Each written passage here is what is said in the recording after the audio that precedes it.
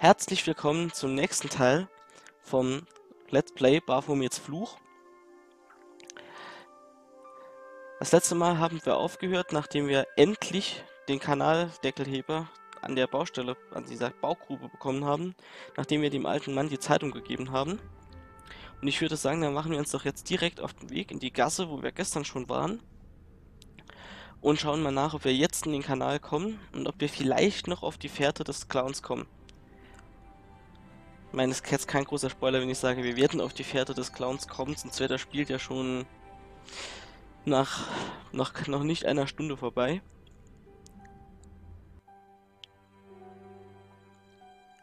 So.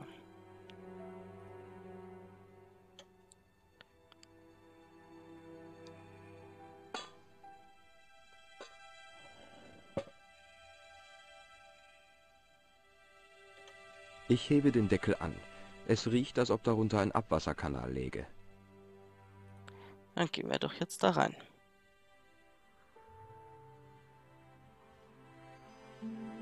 Mal schauen, wo wir rauskommen.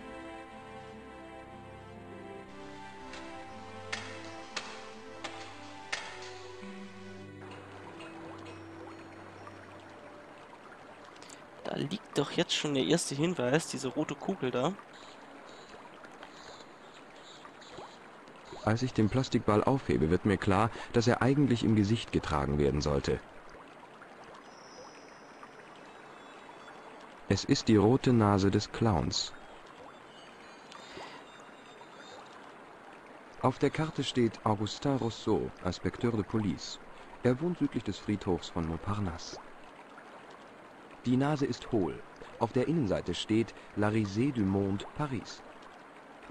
La Risée des Mondes, das wird dann wahrscheinlich der Kostümverleih sein. Naja, gehen wir weiter. Ähm, noch eine Sache, falls ihr euch fragt, warum ich nicht den Director's Cut äh, spiele, das schöne HD-Remake mit neuer Grafik und so weiter, das habe ich tatsächlich letztes Jahr gespielt. Also ich besitze es schon. Ich muss nur sagen, an sich wenn man jetzt, wenn man es früher mal gespielt hat und hat nicht die Möglichkeit, das alte, das alte Original nochmal zu zocken, ist es ganz schön, ist auch ein schöner Fanservice. Ich hob das nasse Taschentuch auf. Es war kalt und fettig wie alte Essensreste. Und ähm, ja, hatte auch ein paar neue Missionen, vor allem die so die Geschichte um Plantard und so weiter und auch um diese Nicole, die Reporterin, die wir eben kennengelernt haben äh, bisschen erzählt. Es ist zwar ganz schön, aber irgendwie fehlt mir der, der Charme des alten Spiels. Vor allem kann man im alten Spiel viele unnützliche Dinge anklicken und äh, betrachten und damit interagieren. Ich nehme den Stoffwetzen und mache ihn vom Haken ab. Und äh, ab und zu findet man dann, äh, äh, kommt dann noch so ein lustiger Spruch. Auch wenn sich das im Laufe des Spielverlaufs man das immer weniger macht und man das am Schluss eigentlich im Original so gut wie gar nicht mehr gemacht hat, sondern sich wirklich auf das, was wichtig war, konzentriert hat.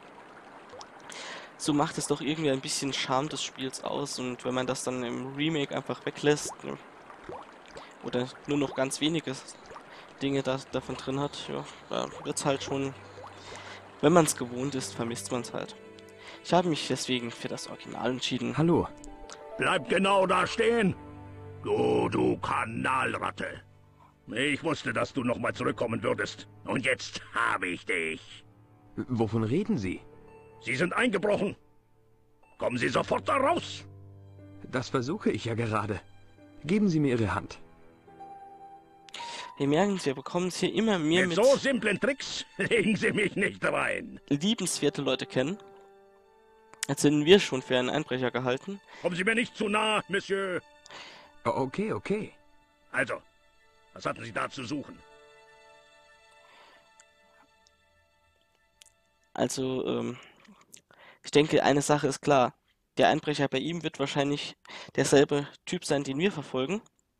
Jetzt haben wir da unten ja die Clownsnase gefunden, ein fettiges äh, äh, Taschentuch, also wahrscheinlich die Schminke aus dem Gesicht und einen Fetzen einer Hose. Also ich schätze mal, dort unten wird er sich umgezogen haben. Das heißt, als er hier aus dem aus dem Gully rausgekommen ist, wird er schon anders ausgesehen haben.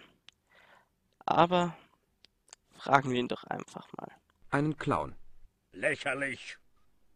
Soll ich Ihnen das etwa wirklich abkaufen? Er hat eine Bombe gelegt in einem Café. Er hat es hochgejagt. Was? Das Café? Hochgejagt? Mon Dieu! Das ist schrecklich. Und Sie sagen, der Täter war als Clown verkleidet? Das stimmt. Er hat das Café in die Luft gesprengt, ist in die Kanalisation geflohen, hat sich umgezogen und ist hier herausgekommen. Mon Dieu! Dann könnte der Mann, den ich verfolgt habe, glauben Sie, er und der Clown sind äh, Oh mein Gott, ein und derselbe? das Naja, kann ja wohl also, gar nicht sein. gedacht. Das Natürlich ist er das. noch nicht, was Sie da im Gully zu suchen hatten. Sie könnten ja genauso gut sein Komplize sein. Oh nein, ich bin ein einfacher Tourist. Die meisten Touristen begnügen sich mit dem Eiffelturm, dem Louvre oder dem Pigalle. Ich wusste gar nicht, dass meine Abwasserrohre so eine Sehenswürdigkeit sind. Naja, fragen wir ihn doch mal noch zu der Person, die er verfolgt hat. Erzählen Sie mir von dem Mann, den Sie geschnappt haben. Was gibt es da groß zu erzählen? Ein typischer Verbrecher, So so wie Sie. wie Sie. Sagt Ihnen der Name Plantard etwas? Nein, gar nichts. Wer ist das? Der Mann, der in der Explosion umkam. Ich werde den Schuldigen zur Strecke bringen. Ich werde ihn finden, und wenn ich in jeden Gully in jeder Stadt in Europa kriechen muss. Sie brauchen ein paar vernünftige Stiefel. In den Tretern werden Sie nicht weit kommen. Das werden wir immer noch sehen, wie weit wir mit den Tretern kommen. Denn wir stehen hier ganz am Anfang einer weltumspannenden Kennen Sie die Reise. Kellnerin aus dem Café? Sie ist doch nicht etwa verletzt, oder? Nein, es geht ihr gut. Dem Himmel sei Dank. So ein armes kleines Ding wie die ist ja nie sicher, solange sowas wie Sie auf den Straßen rumläuft. Verstehen Sie mich denn nicht? Ich bin kein Gangster, ich bin ein amerikanischer Tourist. Pah! Das behaupten Sie. Trug dieser Kerl, den Sie gesehen haben, eine Aktentasche? Darauf habe ich nicht geachtet. Also verschwinden Sie jetzt, oder muss ich die Polizei rufen? Hm, Polizei, das ist das Stichwort. Zeigen doch Vielleicht möchten einfach Sie mal einen Blick auf meine Karte. Karte werfen.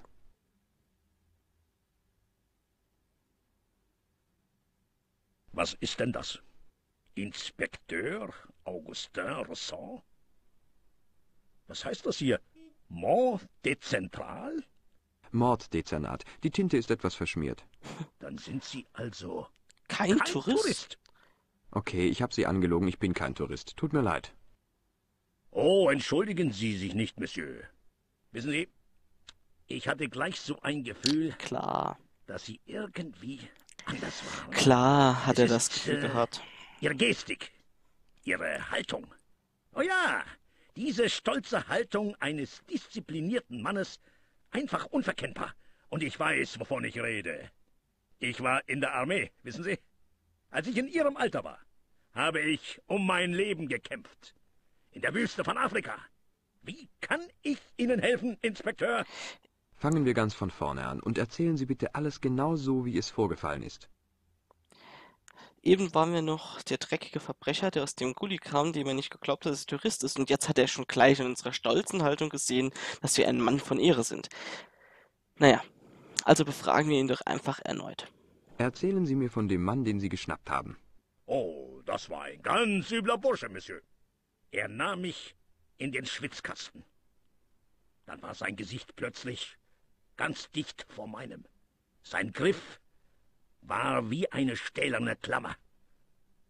Aber er hatte ja keine Ahnung, womit er sich da angelegt hatte. Oh nein! Er hatte den großen Fehler gemacht, sich mit einer der Wüstenhyänen anzulegen. Ja, ja, ich verstehe schon. So, nochmal zu dem Sagt Opfer. Ihnen der Name Plantard etwas? Nein, gar nichts. Okay. Kennen Sie die Kellnerin aus dem Café? Sie möchten also nichts hören von meinen Erlebnissen in der Wüste? Ich habe dafür gekämpft, dieses Land zu dem zu machen, was es heute ist. Das glaube ich gerne, aber ich bin gerade etwas in Eile. Also nochmal. Kennen Kennt ihr Sie die Kellnerin? aus dem Café? Die verdächtigen Sie doch nicht wirklich, oder? Bitte beantworten Sie nur die Frage. Ja, ich kenne sie. Sogar ziemlich gut, würde ich sagen.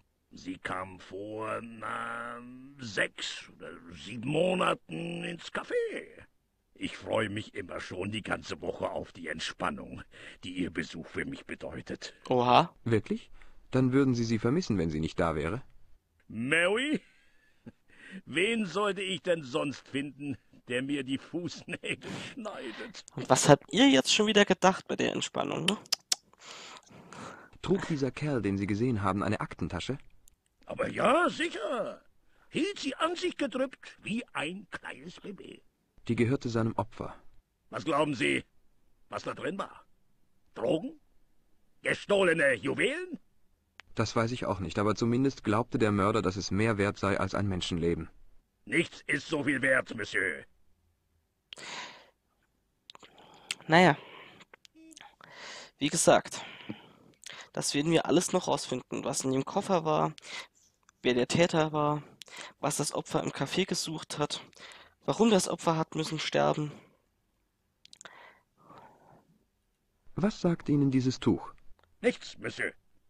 Das ist einfach äh, abstoßend. Warum zum Henker zeigen Sie mir dieses Zeug? Jemand hat da seine Nase geputzt, n'est-ce pas? Sagt Ihnen dieses Stück Stoff irgendwas? Aus demselben Stoff war die Jacke, die ich gefunden habe. Das Muster würde ich überall wiedererkennen. Aha, fragen wir doch mal zu dem Muster. Nun, diese Jacke, die Sie gefunden haben, haben Sie sie hier? Nein, Monsieur. Einer der Ärmel war ziemlich zerrissen. Also habe ich sie in die Reparatur gegeben. Eine Schande. Denn ansonsten war das ein erstklassiges Kleidungsstück. Engländer Da und stand sogar der Name des Schneiders innen auf dem Etikett. Wo haben Sie die Jacke hingebracht? Ich habe sie einer herumziehenden Zigeunernäherin gegeben. Ich habe auch immer so ein Glück. Steckte noch irgendetwas in den Jackentaschen? Nicht ein einziger Sou. Wissen Sie, was ich glaube? Nein, sagen Sie es mir. Er hat das Clownskostüm ausgezogen und sich ganz raffiniert als normaler Passant verkleidet. Tja, Das sieht ja so aus, als hätte ich es mit einem Meisterverbrecher zu tun. Wie lautete der Name auf dem Etikett? Irgend so ein ausländischer Name. Todrick, glaube ich. Können Sie sich an die Adresse erinnern? Stand nicht drauf, Monsieur. Nur eine Telefonnummer.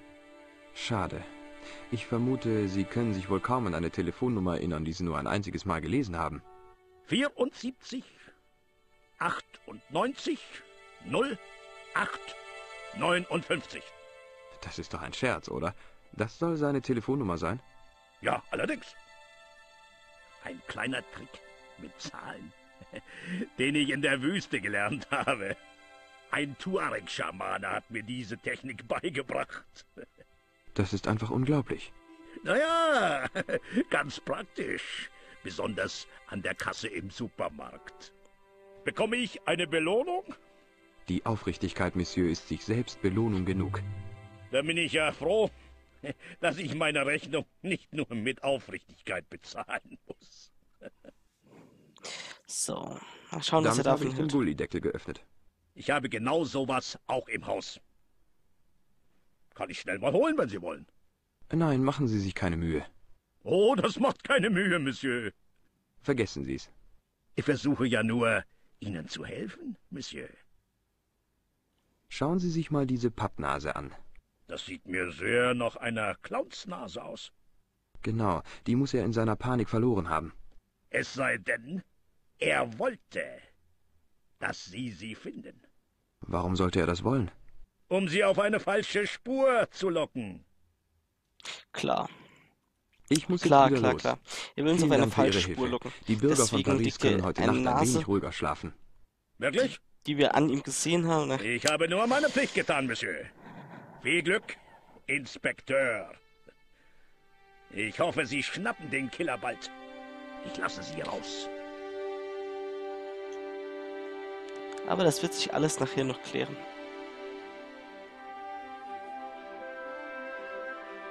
Ich hoffe, Sie schnappen den Kerl, Inspekteur. Das hoffe ich auch.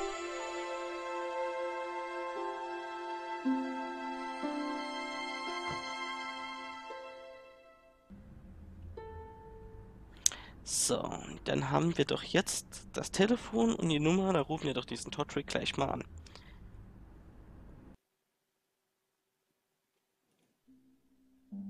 Hallo? Wer spricht da? Hallo, ich heiße George Stobbart. Sie kennen mich nicht. Stimmt genau, Mr. Stobbart. Ich kenne Sie nicht. Also was kann ich für Sie tun? Ich versuche einen Ihrer Kunden ausfindig zu machen. Könnte ich vielleicht mal kurz vorbeikommen und mit Ihnen reden? Nein, nein, das ist völlig ausgeschlossen. Okay, vergessen Sie es. Alles, was ich brauche, ist ein Name. Wovon reden Sie überhaupt? Für wen arbeiten Sie? Man könnte sagen, ich bin im Auftrag von Wahrheit und Gerechtigkeit unterwegs. Ah, Gott sei Dank. Ich dachte schon, Sie wären von der Polizei. Das Leben unschuldiger Menschen ist in Gefahr, Mr. Todrick, und Sie könnten diesen Menschen das Leben retten. Sie sammeln für die Wohlfahrt, stimmt's? Nein, kein Gedanke. Alles, was ich von Ihnen möchte, ist eine Information. Nur weiter, ich lausche. Ein ganz komischer Zeitgenosse, dieser Todrick. Kennen Sie einen Mann namens Plantar? Nein, noch nie von ihm gehört. Soll ich Ihnen erzählen, was Plantar zugestoßen ist? Wie er kaltblütig ermordet worden ist. Ich habe Ihnen doch gesagt, dass ich noch nie von einer Plantain gehört habe. Hm. Kommen wir doch was mal zum wissen Sie Clown. über den Clown, der die Bombe im Café de la Chandelle Verte gelegt hat? Ich habe keine Ahnung, wovon Sie da reden. Sie sind eiskalt, was, Todrick? Aber ich glaube, Sie wissen mehr, als Sie verraten. Ich weiß nicht, wer Sie sind, aber ich bin mir sicher, dass Sie nicht wissen, wovon Sie da reden. Ich weiß ja nicht, ob Sie das nur sagen, damit ich glaube, Sie wüssten nicht, was ich meine, aber... Ach, das ist doch lächerlich. Hören Sie auf, Spielchen mit mir zu spielen, Todrick. Und ich sage Ihnen, ich weiß nichts von irgendeinem Clown. Wussten Sie schon, dass einer Ihrer Kunden zeitweise als Clown auftritt?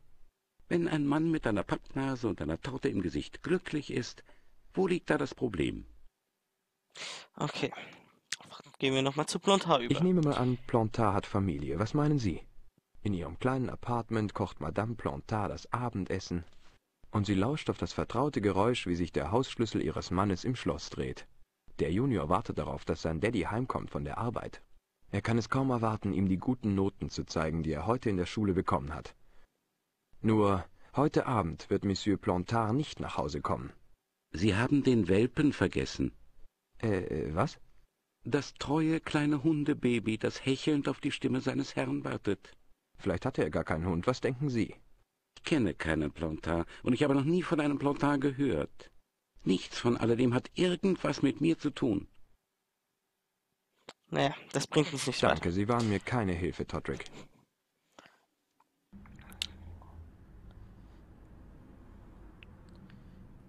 Gehen wir doch nochmal, bevor wir jetzt noch, noch Nico, äh, Nico anrufen, gehen wir doch einfach mal zurück zum Café und teilen Sergent Mouet mit, was wir herausgefunden haben.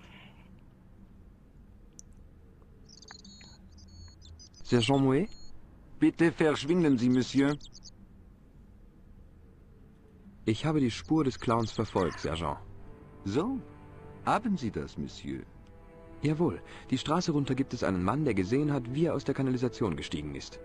In seinem äh, Clownskostüm?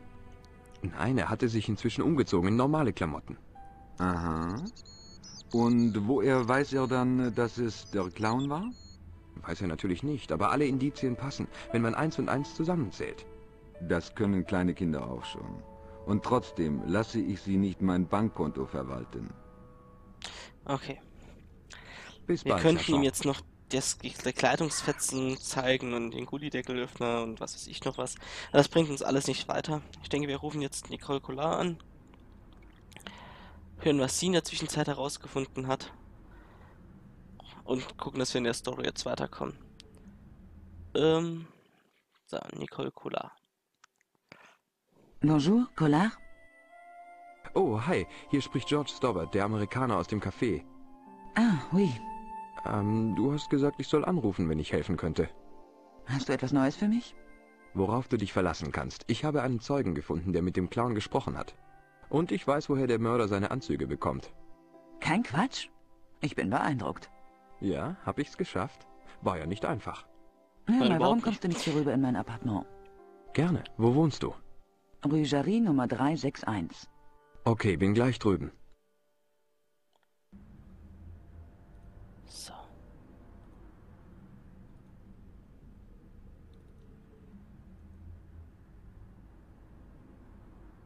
Man sieht, kann man auch hier nicht vorspulen. Also man muss dann wirklich laufen und laufen, laufen.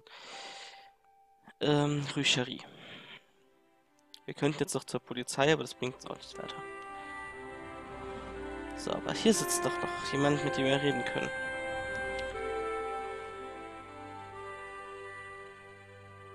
Oh, hi. Bonjour, Monsieur. Soll ich Ihnen Ihre Zukunft voraussagen? Oh, nein, danke. Ich bin sehr gut und es dauert nur eine Minute. Trotzdem vielen Dank, aber ich bin nicht abergläubisch. Außerdem, wenn es nur eine Minute dauert, hat man ja nicht mehr sehr viel Zukunft vor sich. Da hat er recht. Äh, dann zeigen wir ihn doch, ihr doch Erkennen die Sie diese Gegenstände. Nase? Non, Monsieur. Was sagen Sie zu diesem Werkzeug? Ist das etwas aus einer Zahnarztpraxis? Nein, damit macht man Kanaldeckel auf. Umwerfend. Das ist eine Zahnarztpraxis. Also ich habe ja schon panische Angst vor Zahnärzten. Aber äh, wenn er dann noch mit so einem großen Gerät auf mich zukäme. Nein, danke. Ähm, weiter im Text. Vielleicht Was können sie Sie was mir über zum diesen Stoff. Stoff sagen? Das ist sehr teures Material, Monsieur. Da hat sie nicht ganz unrecht. Und jetzt noch zum Taschentuch. Wissen Sie etwas über dieses Taschentuch? Nein, nichts. Aber angeekelt ist sie auch nicht. Naja. Fragen wir doch mal, was es da mit den Blumen auf sich hat, wenn sie uns doch die Kann man diese Blumen voraus kaufen? voraussagen will. Oui, Monsieur. Okay, ich nehme einen Strauß von den Weißen da. Das würde ich an Ihrer Stelle nicht tun. Nein? Das sind Lilien, Monsieur. Totenblumen. Für manche Leute sind das Totenblumen. I, danke für die Warnung. Ähm, was können wir noch Was für Blumen haben Sie noch? Dahlien? Was bedeuten die? Unsicherheit. Hm, ich will nicht, dass sie einen falschen Eindruck von mir kriegt. Keine Angst, George. Das Was wird ist sich mit so den oder so. hohen Gelben da? Das sind Iris, die Flamme der Leidenschaft. Und die kleinen Gelben?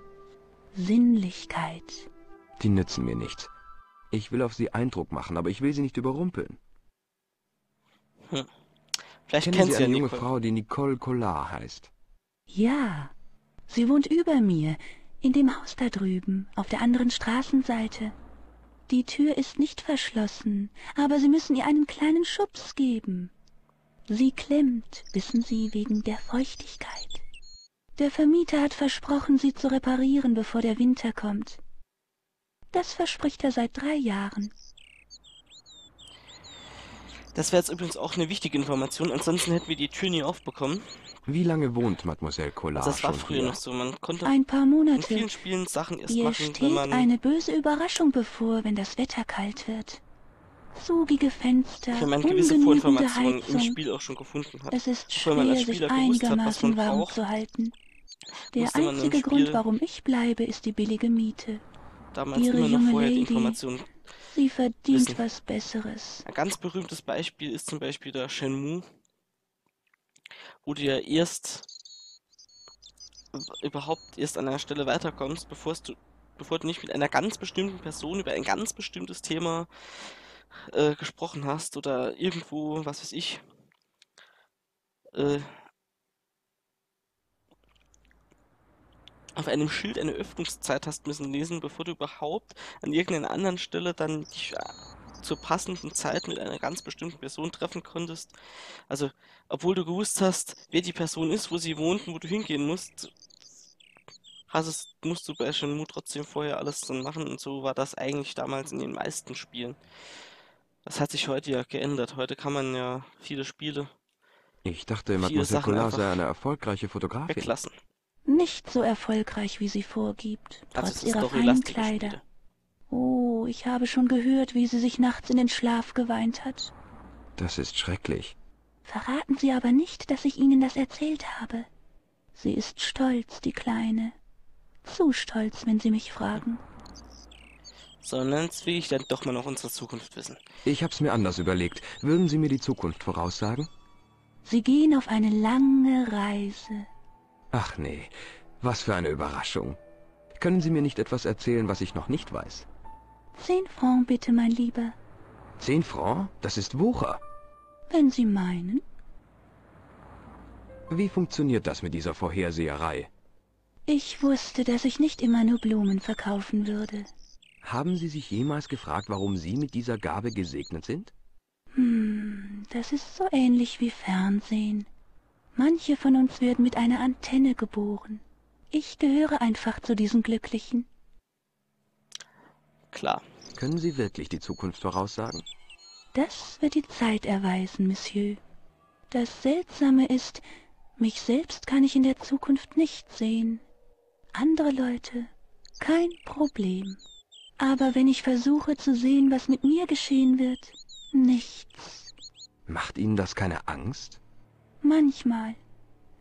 Ich denke aber, dass es sich dabei um eine Art natürlichen Sicherheitsmechanismus handelt.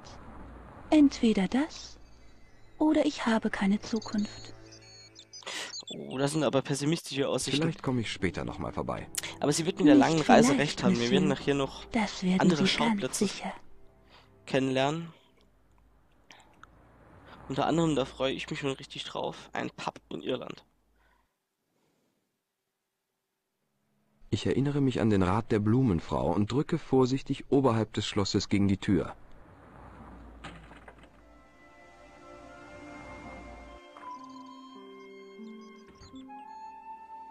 So. Bonjour, ich bin froh, dass du gekommen bist. Wir waren doch per Du, oder? Klar, nenn mich einfach George. Gut. Ich heiße zwar Nicole, aber sag ruhig Nico zu mir. Setz dich, George.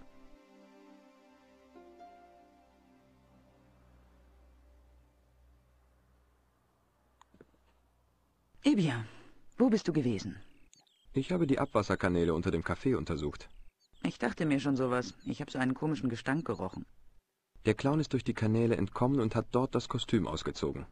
Ich nehme an, er war in Eile. Er hat seine Jacke vergessen. Und? Ich habe die Telefonnummer seines Schneiders. Mehr noch, ich weiß auch, wo er das Clownkostüm geliehen hat. Du hattest mehr Glück als ich. Glück, sagt sie, Glück? Ich nenne das harte Arbeit. Was ist passiert? Ich habe meine Fotografien dem Verleger vorgelegt, aber er hat sich nicht dafür interessiert. Glaubt man das? Er rät mir, die Story fallen zu lassen. Aber das wirst du doch nicht tun. Oh nein. Ich werde herausfinden, was Das ist auch so ein Punkt steckt. im Director's Cut Weißt du, sogar was ich geklärt, glaube? warum der Verleger ihr Es ist nahelegt, die Story fallen zu Die lassen. Polizei in drei verschiedenen Ländern hat sich wegen der Morde sehr zurückgehalten. Die Presse bringt sie nicht in Zusammenhang. Sie beschuldigen politische, religiöse oder militante Extremisten. Damit ist so ungefähr jeder verdächtig. So. Ähm, Ich Zeig mir habe doch mal, diese was wir falsche gefunden Nase haben. in den Abwasserkanälen gefunden. Es ist La Risée du Monde darin eingedruckt. Die Lachnummer der Welt?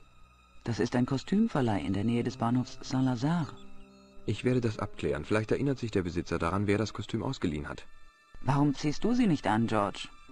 Keine Chance, dann sehe ich ja wirklich so dumm aus, wie ich bin. Außerdem war er vielleicht erkältet. so, dann haben wir Mit hier diesem noch. Werkzeug bin ich in die Abwasserkanäle gekommen. Faszinierend, George. Das interessiert dich überhaupt nicht, oder? Doch, natürlich. Ich finde, es war sehr tapfer von dir, da hinunterzusteigen. Ja? Nun, es war etwas unheimlich, aber naja, ich musste den Job erledigen. Hm, weiter. Ich habe ein Stück Stoff in der Nähe des Cafés gefunden.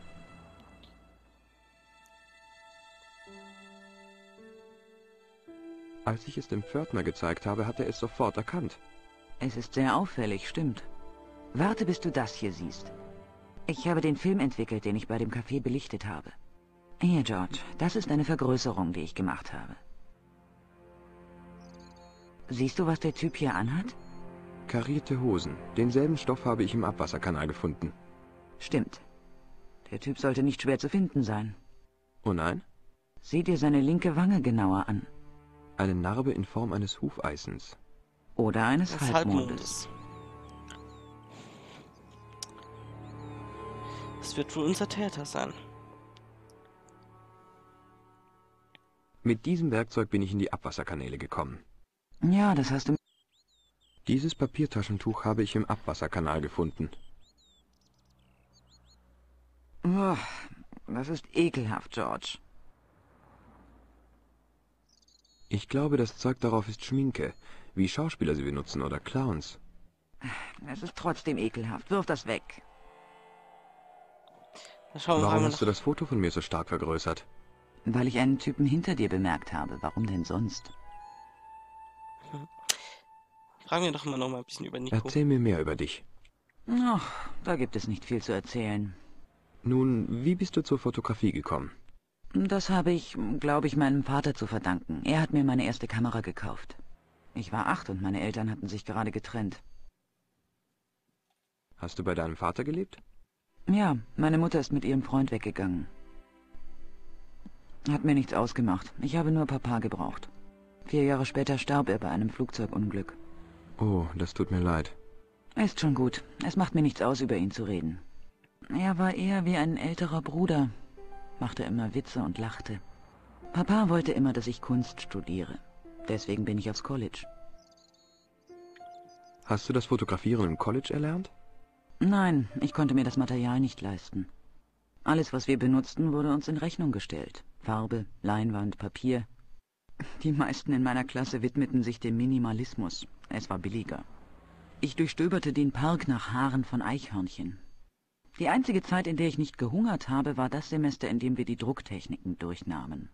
Ich habe die Kartoffeln gegessen. Du verkohlst mich doch. Oh nein, Oh, das muss eine harte Zeit Hast du einen sein. Freund? das geht dich nichts an. Jetzt schmeißen wir uns aber ran. Naja, fragen wir doch mal weiter nach dem Clown Erzählen aus. Sie mir von den bisherigen Opfern des Clowns. Das erste war Arno Bilotta, der Millionär und Baron der Pharmaindustrie. Er hat sein Geld mit Amphetaminen verdient, im Nachkriegsboom von Schlankwerden und Diät.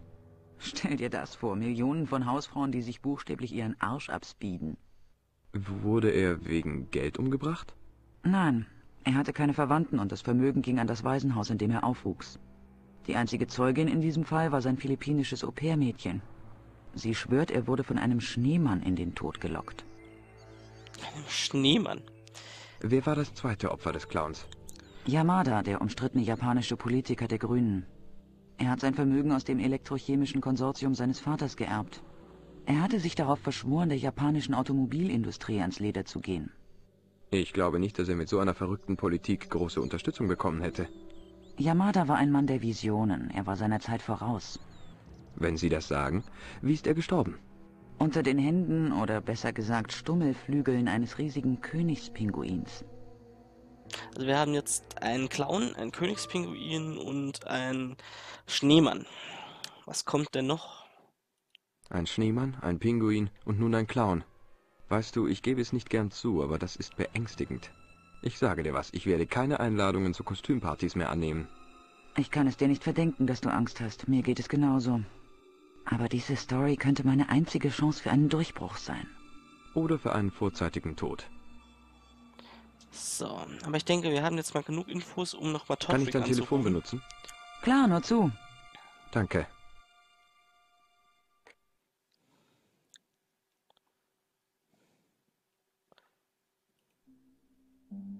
Hallo? Wer spricht da? Mr. Todrick? Oh, Sie sind es nochmal. Was gibt's? Haben Sie mal einen Anzug für einen Mann mit einer Gesichtsnarbe angefertigt? Eine Narbe in Form eines Halbmondes. Vielleicht. Vielleicht auch nicht. Sagen Sie mir, wo ich ihn finden kann, und ich lasse Sie in Ruhe. Und wenn ich es nicht sage? Lasse ich Sie nicht in Ruhe. Ich kann Ihnen gar nichts sagen, wenn Sie mir seinen Namen nicht verraten. Hm. Wissen Sie, wo ich den Kerl mit der Narbe finden kann? Ich habe doch gesagt, ohne Namen läuft da gar nichts. Dann müssen wir also noch den Namen rausfinden. Ich würde sagen, dann machen wir uns jetzt Ich mal mache auf den mich Weg wieder auf die Suche nach dem Kostümverleih. Clown. Wo? Ich werde wohl mal dem Kostümverleih einen Besuch abstatten. Gute Idee. und äh, schauen mal nach, was es dort gibt. Aber das werden wir im nächsten Teil machen, denn wir sind mit diesem Teil wieder mal am Ende ange angelangt. Ich freue mich, dass ihr dabei wart. Hoffe, es hat euch gefallen. Wenn es so ist, gebt mir einen Daumen hoch, abonniert den Kanal. Wenn es euch nicht gefallen hat, gebt mir einen Daumen runter, schreibt in die Comments, ob es euch gefallen hat, ob es euch nicht gefallen hat. Kritik, Verbesserungsvorschläge, ich bin für alles offen und hoffe, wir sehen uns dann zum dritten Teil von Let's Play Baphomets Fluch.